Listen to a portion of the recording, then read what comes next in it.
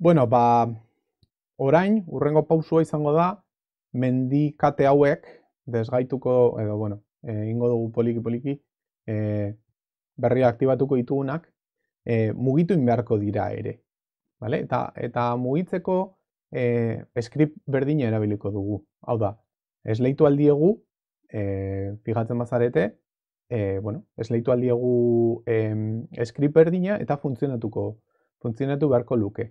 Kontua da, e, kasu honetan, bueno, hiru kopia ditugula, eta badago Unityan e, bide bat e, nolabait e, dena batera egiteko, ez? Hiru kopia identikoak dira eta portaera berdina izan behar da, hartzen bali baitugu hiru hauek.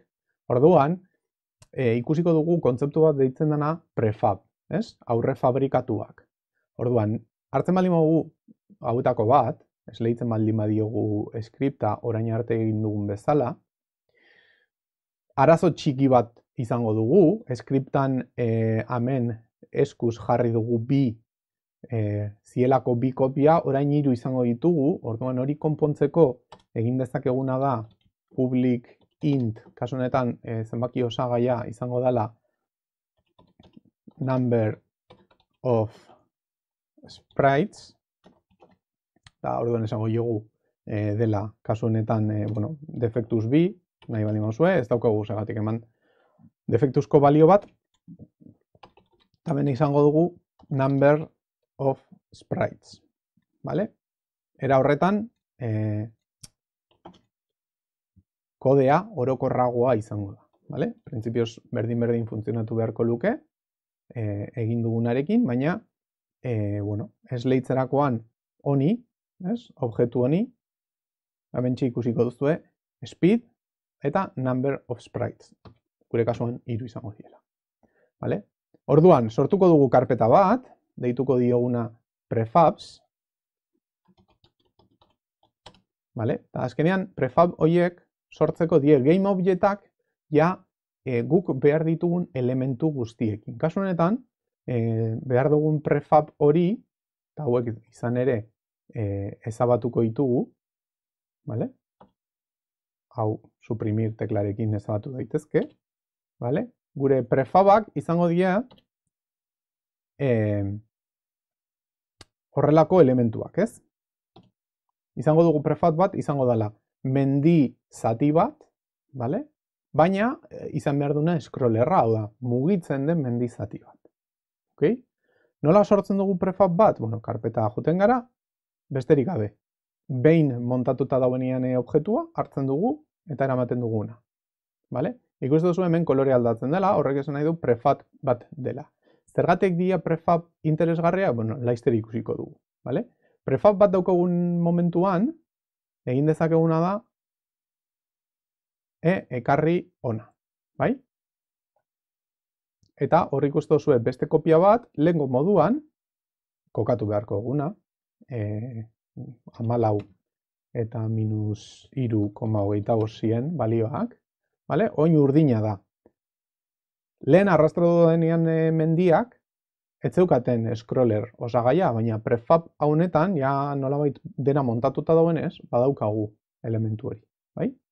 Eta, e, ekartzen bali mogu bestea, gogoratu, amalau, parkatu, minus amalau, minus iru koma bost, Vale? Ja, denak daukate e, ez bakarrik eskripta baizik eta konfiguratuta abiadurarekin. Bi abiadurarekin. Vale? Play sagatzen badi magu. Vale? Ikustu zue, mendiak ere mugitu iten diela. Vale? Eta era infinituan orain arte izan dugun bezala. Ok? Besterik gabe. Zergatik dira prefabak interesgarriak? Bueno, e, izarren abiadura aldatu nahi bali magu eta de aldatu nahi dugu, vale? amarrasko da, jarriko diogu e, 0,5 adibidez, fondo fondoan dauden objektuak poliki muitu behar dira, bi aldatu behar diogu, vale? stars eta stars bat. Vale?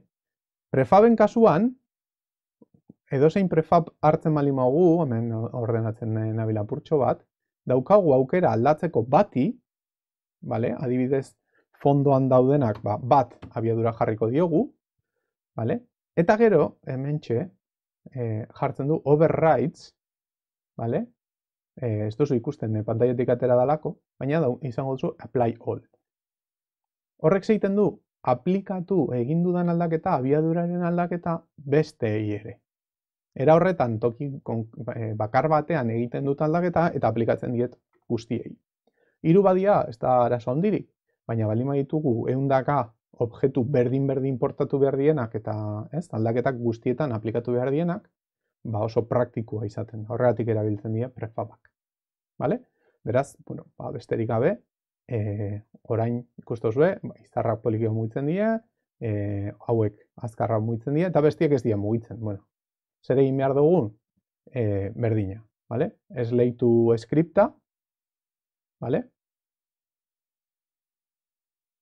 mountains B eta mountains, e, mountainsea esleitu skriptak, e, definitu abiadurak, vale? definitu abiadurak, e, mountains B apurtxo bat azkarra izango da, bat puntu bost, eta, bueno, iru elementu die, por cierto, ere, eta mountains aurrean dauden elementuak e, bi abiadura jarriko diogu, eta hiru elementu dia ere,